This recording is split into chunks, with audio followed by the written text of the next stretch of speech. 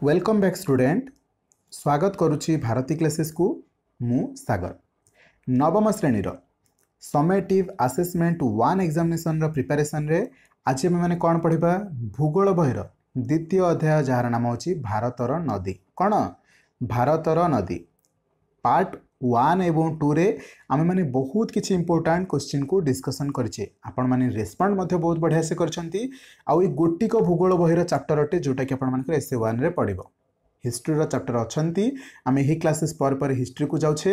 Show ଆପଣମାନେ ସବୁଦିନ ସକାଳ ପାଞ୍ଚଟା କେତେରେ? ଚାଳିଶରେ ନିଶ୍ଚିତ ଭାବରେ କ୍ଲାସ୍କୁ ଆଟେଣ୍ଡ କରନ୍ତୁ। ସବୁଦିନ ସକାଳ ପାଞ୍ଚଟା ଚାଳିଶରେ ଲାଇଭ୍ କ୍ଲାସେସ୍ ହେଉଛି ସେ କ୍ଲାସେସ୍କୁ ଆଟେଣ୍ଡ କରନ୍ତୁ। ଯଦି ନୋଟିଫିକେସନ୍ ଯାଉନାହିଁ ତ ସର୍ବପ୍ରଥମେ ଚ୍ୟାନେଲକୁ ସବସ୍କ୍ରାଇବ୍ କରନ୍ତୁ। ପାଖରେ ଥିବା ବେଲ୍ ଆଇକନ୍କୁ ପ୍ରେସ୍ କରିକି ଅଲ୍ ନୋଟିଫିକେସନ୍ ବଟନ୍ରେ କ୍ଲିକ୍ କରିନିଅନ୍ତୁ ସବୁ କ୍ଲାସେସ୍ର ନୋଟିଫିକେସନ୍ ସର୍ବପ୍ରଥମେ ଆପଣଙ୍କ ପାଖକୁ ହିଁ ପହଞ୍ଚିବ। ଠିକ୍ ଅଛି? ଆପଣ ଆଉ କୌଣସି କ୍ଲାସେସ୍ ମିସ୍ କରିପାରିବେ ନାହିଁ। ଆମେ ଲାଷ୍ଟ କ୍ଲାସେସ୍ରେ ଚାଳିଶ କୋଶ୍ଚିନ୍ ଯାଇ ଯାଇଥିଲେ ବଟ୍ ଏକଚାଳିଶରୁ ଷ୍ଟାର୍ଟ କରିବା ପୂର୍ବରୁ ତିନି ଚାରୋଟି କୋଶ୍ଚିନ୍କୁ ପ୍ରଥମେ ରିଭିଜନ୍ କରିବା। ମୁଁ ଆପଣଙ୍କୁ ସବୁବେଳେ କହିଛି ସକାଳେ କ୍ଲାସ୍କୁ ଦେଖିଲେ ସନ୍ଧ୍ୟାରେ ଗୋଟେ ଥର ସ୍ପିଡ୍ ମୋଡ଼୍ରେ ରିଭିଜନ୍ କରିଦିଅନ୍ତୁ। ଠିକ୍ ଅଛି? ଏହା ଭିତରେ ଆପଣଙ୍କୁ ଯଦି କିଛି ନଜର ଲାଗିଲା କି କେଉଁ କୋଶ୍ଚିନ୍ ଆପଣମାନେ ଅଟକିଗଲେ କିଛି ସମୟ ପାଇଁ ସେହି କୋଶ୍ଚିନ୍କୁ ନିଜ ନୋଟ୍ ଖାତାରେ ଲେଖି ରଖନ୍ତୁ। ସପ୍ତାହଟେ ପରେ ତାକୁ ପୁନର୍ବାର ପଢ଼ନ୍ତୁ। ଠିକ୍ ଅଛି? ଯଦି ସପ୍ତାହ ଭିତରେ ଆପଣମାନଙ୍କର ଏକ୍ଜାମିନେସନ୍ ଆସୁଛି ଏକ୍ଜାମିନେସନ୍ ପୂର୍ବ ଦିନ ହିଁ ଥରେ ଦୁଇଥର ପଢ଼ି ଦିଅନ୍ତୁ ଆପଣଙ୍କ ପାଖରେ ଏକ୍ଜାମ୍ ହଲ୍ରେ ଅପସନ୍ ଥିବ को गोटे क्वेश्चन भी आंसर जदि भूल है आपण मैंने आसिक मत कमेंट सेक्शन में पचारे ठीक अच्छे केवे भी भूल हेनी आपण मैंने भावुंट घोषिले सब जिन मन रहे घोषा जिन ही भूली जाती पढ़ी जिन केवे मन रखिकी भूली भूली जाती ना कहीं भी आपण मैंने घर ठिकणा घोषी ना आपण घर ठिकना मन रखिंट आपण पणिकिया तेईस पणिकिया घोषी चबीस पणिकिया घोषी अणतीस पणिकिया भी घोषी रईट यही पणिकिया गुड़िक ही आपण मैंने भूली କିନ୍ତୁ ଦୁଇକ ପଣିକିଆ ଆପଣମାନେ ଘୋଷି ନାହାନ୍ତି ବାରମ୍ବାର ବାରମ୍ବାର ଛୋଟବେଳୁ ପଢ଼ିଛନ୍ତି ଆଠକ ପଣିକିଆ ବାରମ୍ବାର ପଢ଼ିଛନ୍ତି ପଢ଼ି ପଢ଼ି ହିଁ ମନେ ରହିଛି। ଠିକ୍ ଅଛି? ଆପଣ ପଢ଼ନ୍ତୁ ବାରମ୍ବାର ପଢ଼ନ୍ତୁ ଆଗ୍ରହ ପ୍ରକାଶ ହେବ। ଆପଣମାନେ ଯଦି ଘୋଷିବେ ଆଜି ନହେଲେ କାଲି ଇରିଟେଟ୍ ହେଇକି ବହି ଫହି ଫୋପାଡ଼ିକି ପଳାଇବେ। ଚାଲନ୍ତୁ ଷ୍ଟାର୍ଟ କରିବା ବେଶୀ ଗପିବାନି। ଆପଣଙ୍କୁ ଯେତିକି ଟିପ୍ସ ଦେବାର ଥିଲା ଦେଲି। ଯଦି ଆପଣମାନେ କଲେକ୍ଟ କରୁଛନ୍ତି ଛୋଟ ଛୋଟ ବୁନ୍ଦି ବୁନ୍ଦାର ଜଳ ବି କଲେକ୍ଟ କରୁଛନ୍ତି ନା ଆପଣ ଗୋଟେ ଦିନ ସମୁଦ୍ର କ୍ରିଏଟ୍ କରିପାରିବେ। ପ୍ରଥମ କ୍ୱେଶ୍ଚିନ୍ ଆମେ ରିଭିଜନ୍ରେ ଯାଉଛେ। ଗୋଦାବରୀ ନଦୀ ଡ୍ୟାସ୍ ପର୍ବତମାଳାରୁ ଉତ୍ପତ୍ତି ଲାଭ କରିଛି। ଗୋଦାବରୀ ନଦୀ ଡ୍ୟାସ୍ ପର୍ବତମାଳାରୁ ଉତ୍ପତ୍ତି ଲାଭ କରିଛି। କ'ଣ ହେବ ଫଟାଫଟ କୁହନ୍ତୁ? ଫଟାଫଟ କହିଦିଅନ୍ତୁ। ପଶ୍ଚିମ ଘାଟ ପର୍ବତମାଳାରୁ ଉତ୍ପତ୍ତି ଲାଭ କରିଛି। ଅପସନ୍ ଦେଖିଲେ ହିଁ ଆପଣମାନେ ଉତ୍ତର ଦେଇଦେବେ ବଟ୍ ମୁଁ ଏଇ କ୍ୱେଶ୍ଚିନ୍ ଆପଣଙ୍କୁ ଅପସନ୍ ଦେଇନାହିଁ। ଠିକ୍ ଅଛି? ଗୋଦାବରୀ ନଦୀର ଦୈର୍ଘ୍ୟ ପ୍ରାୟ ଡ୍ୟାସ୍ କିଲୋମିଟର। ଗୋଦାବରୀ ନଦୀର ଦୈର୍ଘ୍ୟ ପ୍ରାୟ ଚଉଦଶହ ପଚାଶ କିଲୋମିଟର। କେତେ? ଚଉଦଶହ ପଚାଶ କିଲୋମିଟର ମନେ ରହିବ? ଅଣଚାଳିଶ ନମ୍ବର କ୍ୱେଶ୍ଚିନ୍ ଗୋଦାବରୀ ନଦୀର ପ୍ରାୟ ଡ୍ୟାସ୍ ପ୍ରତିଶତ ଅବବାହିକା ଅଞ୍ଚଳ କେବଳ ମହାରାଷ୍ଟ୍ରରେ ବିସ୍ତୃତ। କେତେ? ପଚାଶ ପରସେଣ୍ଟ ମାନେ ଅଧା ଗୋଦାବରୀ ନଦୀ କେବଳ ମହାରାଷ୍ଟ୍ରରେ ବିସ୍ତୃତ ହୋଇକି ଅଛନ୍ତି ତେଣୁକରି ଗୋଦାବରୀକୁ କ'ଣ କୁହାଯାଏ? ଦକ୍ଷିଣ ଗଙ୍ଗା ମଧ୍ୟ କୁହାଯାଏ। ଆମ ଚାଳିଶ ନମ୍ବର କ୍ୱେଶ୍ଚିନ୍ ଠିକ୍ ସେଇଆ ହିଁ କହୁଥିଲା। ଦୈର୍ଘ୍ୟ ଓ ବିସ୍ତୃତି ଦୃଷ୍ଟିରୁ ଗୋଦାବରୀକୁ ଡ୍ୟାସ୍ କୁହାଯାଏ। ତାହାର ଦୈର୍ଘ୍ୟ ବହୁତ ଲମ୍ବା ବିସ୍ତୃତି ମହାରାଷ୍ଟ୍ରରେ ବହୁତ ବଡ଼ ଆକାରରେ ନେଇଛି। ତେଣୁକରି ଏହାକୁ ଦକ୍ଷିଣ ଭାରତରେ ଗଙ୍ଗା ନାମ ଦିଆଯାଇଛି। ଯେମିତି ଆମର ଗଙ୍ଗା ନଦୀ ବହୁତ ଲମ୍ବା ଅଟେ କିନ୍ତୁ ଗୋଦାବରୀ ନଦୀ ସମ୍ପୂର୍ଣ୍ଣ ଭାବରେ ଦକ୍ଷିଣ ଦିଗରେ ଗତି କରୁଛି ବହୁତ ଲମ୍ବା ଅଟେ ତେଣୁକରି ତାକୁ ଦକ୍ଷିଣ ଦିଗର ଗଙ୍ଗା ବା ଦକ୍ଷିଣ ଗଙ୍ଗା ମଧ୍ୟ କୁହାଯାଏ। କାହାର ଏପର୍ଯ୍ୟନ୍ତ ମନେ ରହିଗଲା? ଚାଲନ୍ତୁ ଆଜିର କ୍ଲାସେସ୍କୁ ଷ୍ଟାର୍ଟ କରିବା।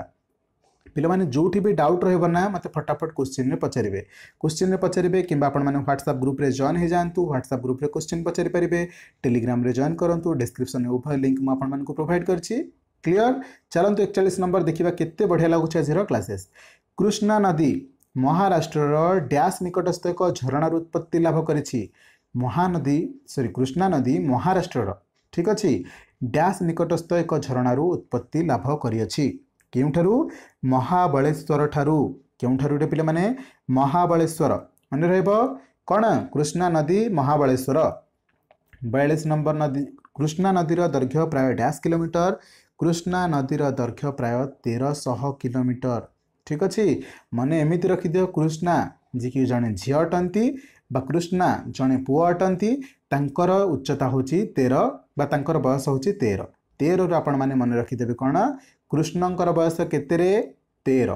କୃଷ୍ଣଙ୍କର ବୟସ କେତେରେ? ତେର। ମାନେ କୃଷ୍ଣା ନଦୀ ତେରଶହ କିଲୋମିଟର। ବୁଝି ହେଇଗଲା? ତେରଶହ କିଲୋମିଟର। ତେୟାଳିଶ ନମ୍ବର କୋଶ୍ଚିନ୍ କୃଷ୍ଣା ନଦୀ ଉପରେ ଡ୍ୟାସ୍ ଡ୍ୟାମ୍ ନିର୍ମିତ ହୋଇଛି। କୃଷ୍ଣା ନଦୀ ଉପରେ ଡ୍ୟାସ୍ ଡ୍ୟାମ୍ ନିର୍ମିତ ହେଇଛି। ତେୟାଳିଶ ନମ୍ବର କୋଶ୍ଚିନ୍ ଫଟାଫଟ ଆନ୍ସର ଦିଅନ୍ତୁ। ନାଗାର୍ଜୁନ ସାଗର। ନାଗାର୍ଜୁନ ସାଗର ଡ୍ୟାମ୍ ନିର୍ମାଣ କରାହେଇଛି। ବୁଝିହେଲା କେଉଁଠି? କୃଷ୍ଣା ନଦୀ ଉପରେ। କୃଷ୍ଣ ଆଉ ନାଗାର୍ଜୁନ ଆଙ୍କ ଭିତରେ କ'ଣ ସମ୍ବନ୍ଧ ରହୁଛି ମୋତେ ଟିକେ କୁହନ୍ତୁ ରେ କୃଷ୍ଣ ଆଉ ନାଗ ମନେ ଅଛି? ସାତଫେଣୀ ନାଗ ଉପରେ କୃଷ୍ଣ ନାଚ କରିଥିଲେ? ମନେ ଅଛି ନା? ତେଣୁକରି ଯେହେତୁ ନାମ ଅଛି କୃଷ୍ଣଙ୍କ ନାମ ଅନୁସାରେ ସେହି ନଦୀ ଉପରେ ଯେହେତୁ ଗୋଟେ ଡ୍ୟାମ୍ ତିଆରି କରାଯାଇଛି ସେହି ଡ୍ୟାମ୍ର ନାମକୁ ସେମାନେ ନାଗାର୍ଜୁନ କରିଦେଇଛନ୍ତି। ନାଗ ଏବଂ ଅର୍ଜୁନ ଅର୍ଜୁନଙ୍କର ଅନ୍ୟ ନାମ ମଧ୍ୟ କୃଷ୍ଣ ବୋଲି ସମ୍ବୋଧନ କରାଯାଏ। ତେଣୁକରି ଏହି ନଦୀ ଉପରେ ନାମ କ'ଣ କରିଦିଆଗଲା? ନାଗାର୍ଜୁନ ଡ୍ୟାମ୍ କରିଦିଆଗଲା। ମନେ ରହିଗଲା ଭୁଲିବେନି ନା କେବେ ହେଲେ ରାମାୟଣ ମହାଭାରତକୁ ସବୁ ଆଟାଚ୍ କରିଦିଅ କିଛି ଭୁଲିବେନି। ଗପ ଅନୁସାରେ ମନେ ରଖରେ ମୁଁ ଯଦି ଏବେ ପଚାରିବି ଆପଣଙ୍କୁ କୃଷ୍ଣା ନଦୀର ଦୈର୍ଘ୍ୟ କେତେ? ଆପଣମାନେ ଡାଇରେକ୍ଟଲି କହିବେ ସାର୍ କୃଷ୍ଣଙ୍କର ବୟସ ତ ତେର ତେରଶହ କିଲୋମିଟର। ମୁଁ ଯଦି ପଚାରିଲି କୃଷ୍ଣା ନଦୀ କେଉଁଠୁ ବାହାରିଛି? ସାର୍ କୃଷ୍ଣ ହେଉଛନ୍ତି ସବୁଠୁ ବଡ଼ ମହାନ ମହାବଳେଶ୍ୱରରୁ ଆସିଛନ୍ତି। ଠିକ୍ ଅଛି। କୃଷ୍ଣା ନଦୀ ମହାରାଷ୍ଟ୍ରରୁ ବାହାରିଛନ୍ତି। ମହାବଳେଶ୍ୱର ନିକଟସ୍ଥ ଏକ ଝରଣାରୁ ଉତ୍ପତ୍ତି ଲାଭ କରିଛନ୍ତି ସବୁ ମହାନ କୃଷ୍ଣଙ୍କର ସବୁ ମହାନ କୃଷ୍ଣଙ୍କର ଅନ୍ୟ ରୂପ ଜଗନ୍ନାଥ ସିଏ ବି ମହାନ ସିଏ ବି ବଡ଼। ଠିକ୍ ଅଛି? ଚାଲନ୍ତୁ ନେକ୍ସଟ କ୍ୱେଶ୍ଚିନ୍କୁ ଚଉରାଳିଶ ନମ୍ବର କ୍ୱେଶ୍ଚିନ୍ ପଶ୍ଚିମ ଘାଟ ପର୍ବତମାଳାର ବ୍ରହ୍ମଗିରି ପାର୍ବତ୍ୟାଞ୍ଚଳରୁ ଡ୍ୟାସ୍ ନଦୀ ବାହାରିଛି। ପଶ୍ଚିମ ଘାଟ ପର୍ବତମାଳାର ବ୍ରହ୍ମଗିରି ପାର୍ବତ୍ୟାଞ୍ଚଳରୁ ଡ୍ୟାସ୍ ନଦୀ ବାହାରିଅଛି। କିଛି ସମୟ ପୂର୍ବରୁ କହିଥିଲି ବଟ୍ ଏହି କ୍ୱେଶ୍ଚିନ୍ ତା ସହିତ ଟିକେ ରିଲେଟେଡ୍ ଅଛି। ଠିକ୍ ଅଛି? କାବେରୀ କ'ଣ? କାବେରୀ ପଶ୍ଚିମ ଘାଟ ପର୍ବତମାଳାର ବ୍ରହ୍ମଗିରି ପାର୍ବତ୍ୟାଞ୍ଚଳରୁ କାବେରୀ ନଦୀ ବାହାରିଛି। କୃଷ୍ଣା କାବେରୀ। କ'ଣ? କୃଷ୍ଣା କାବେରୀ। ଠିକ୍ ଅଛି? ଏମିତି ପାଖାପାଖି ଲିଙ୍କ ରଖିବେ।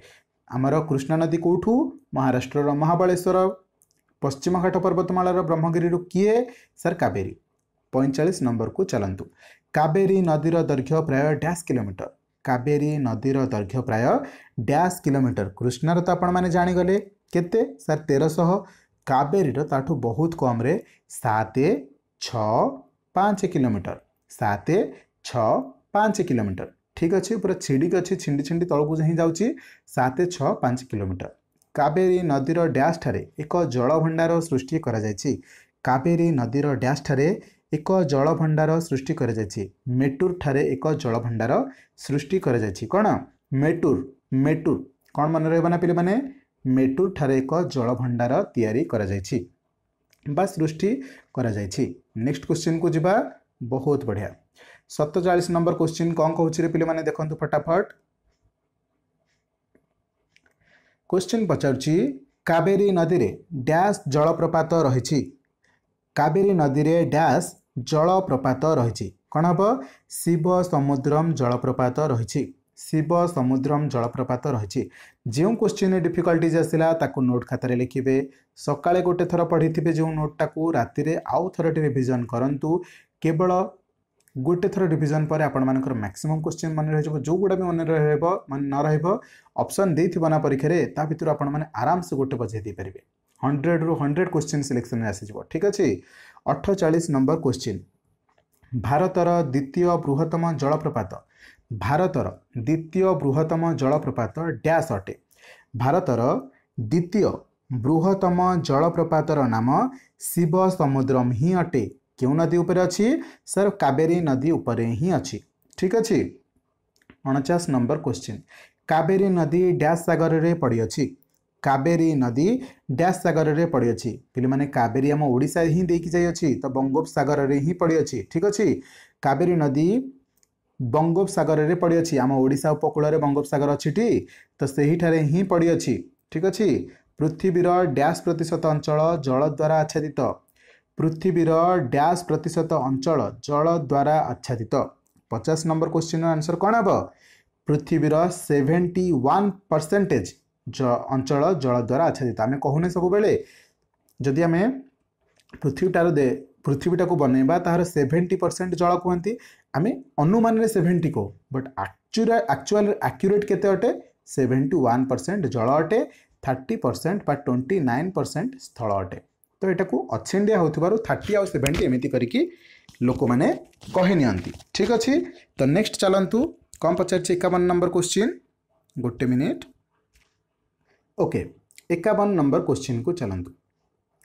ପୃଥିବୀର ସମୁଦାୟ ଜଳର ଡ୍ୟାସ୍ ଜଳ ଲୁଣିଆ ଡ୍ୟାସ୍ ଭାଗ ଜଳ ଲୁଣିଆ ଅଟନ୍ତି। କେତେ ଭାଗ? ନାଇଣ୍ଟି ସେଭେନ୍ ପରସେଣ୍ଟେଜ୍ ଜଳ ଲୁଣିଆ ଅଟନ୍ତିରେ ମାତ୍ର ତିନି ପରସେଣ୍ଟ ପାଣି କ'ଣ? ମଧୁର ଜଳ ଅଟେ ଏ କଥା ବି ଆପଣମାନେ ଜାଣନ୍ତି। ଯେତେ ଜଳ ଆପଣମାନେ ଦେଖୁଛନ୍ତି ନା ସେଭେଣ୍ଟି ପରସେଣ୍ଟ ଯେଉଁ ଜଳ ଥିଲା ସେଇ ସେଭେଣ୍ଟି ପରସେଣ୍ଟର ନାଇଣ୍ଟି ସେଭେନ୍ ଭାଗ ମାନେ ସତାନବେ ଭାଗ ଗୋଟେ ଗ୍ଲାସରେ ପାଣି ଆଣିବେ ninety seventy percent ninety seven ପରସେଣ୍ଟକୁ ଆପଣମାନେ ଢାଳିଦେବେ। ଆଉ ଯେତିକି ରହିଲା ସେତକ ମଧୁର ଜଳ ତ ପୁରା ପୃଥିବୀକୁ ଅନୁମାନ କରନ୍ତୁ ସେତିକି ପରସେଣ୍ଟେଜ ଜଳ ମଧୁର ଅଟେ। ତେଣୁକରି ସମସ୍ତଙ୍କୁ କୁହାଯାଏ ଜଳ ସଞ୍ଚୟ କରନ୍ତୁ ମଧୁର ଜଳକୁ ସଞ୍ଚୟ କରନ୍ତୁ। ଠିକ୍ ଅଛି? ବାଉନ ନମ୍ବର କ୍ୱେଶ୍ଚିନ୍ ପୃଥିବୀର ସମୁଦାୟ ଜଳର ଡ୍ୟାସ୍ ଭାଗ ଜଳ ମଧୁର ଏବେ ଆପଣମାନଙ୍କ ସାମ୍ନାରେ ରଖିଥିଲି। ଏବେ ଆପଣମାନଙ୍କ ସାମ୍ନାରେ ରଖିଥିଲି। ଯଦି ନାଇଣ୍ଟି ସେଭେନ୍ ପରସେଣ୍ଟ ଲୁଣି ଜଳ ପଳେଇଲା ଆଉ କେତେ ପରସେଣ୍ଟ ଜଳ ମଧୁର ରହିଲା? ସାର୍ ଥ୍ରୀ ପରସେଣ୍ଟ ଜଳ ମଧୁର ରହିଲା ବା ତିନି ଭାଗ ଜଳ ମଧୁର ରହିଲା। ମନେ ରହିବ? ତେପନ ନମ୍ବର କ୍ୱେଶ୍ଚିନ୍ ପୃଥିବୀର ସମୁଦାୟ ଜଳର ଡ୍ୟାସ୍ ଭାଗ ଜଳ ବରଫ ଆକାରରେ ଆଚ୍ଛାଦିତ ହୋଇଅଛି। ପୃଥିବୀର ସମୁଦାୟ ଜଳର ଡ୍ୟାସ୍ ଭାଗ ଜଳ ବରଫ ଆକାରରେ ଆଚ୍ଛାଦିତ ବା ଗଚ୍ଛିତ ହୋଇକରି ରହିଅଛି। କେତେ? ତେପନ ନମ୍ବରର କ୍ୱେଶ୍ଚିନ୍ ଆନ୍ସର୍ କିଏ କହିପାରିବ? ସେଭେଣ୍ଟି ଫାଇଭ୍ ପରସେଣ୍ଟ ପିଲାମାନେ।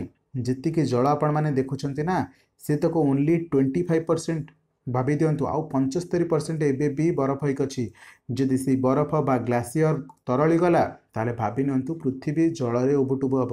ଯେଉଁ ତିରିଶ ଭାଗ ଆଉ ସ୍ଥଳ ଅଛି ନା ତାକୁ ବି ବୁଡ଼େଇକି ବର୍ବାଦ କରିଦେବ। ଆମେ ଆମ ଉପରେ ଆଉ ଗର୍ବ ବି କରିପାରିବାନି ଆମେ ମଣିଷ ହେଇକି ଜ୍ଞାନୀ ହେଇକି ଅଛେ। ଠିକ୍ ଅଛି ତେଣୁକରି ଆମେ ଯେତେ ଦୂର ପାରିବା ଗଛ ଲଗାଇବା ଗଛ ଲଗାଇବା ଦ୍ୱାରା ଆମର ଆଟମୋସ୍ଫିୟର ନର୍ମାଲ ରହିବ ଆଉ ବେଶୀ ଟେମ୍ପରେଚର ବଢ଼ିବ ନାହିଁ। ଟେମ୍ପରେଚର ନ ବଢ଼ିଲେ ବରଫ ଠିକ୍ ଅବସ୍ଥାରେ ରହିବ।